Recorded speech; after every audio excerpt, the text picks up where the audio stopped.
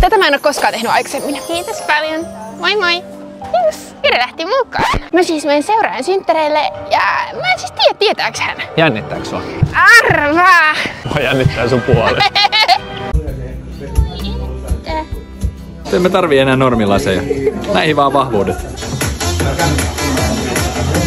Miksi sä et auttanut mua siinä musevisessa? No koska sä olisit muuten voittanut ihan ylivoimasti, ei se olisi ollut reilu. Se olisi ollut hauskaa! Nyt kotimatkalle oli kyllä aika kivat synttärit. Pitäisikö järjestää meilläkin illalla synttärit?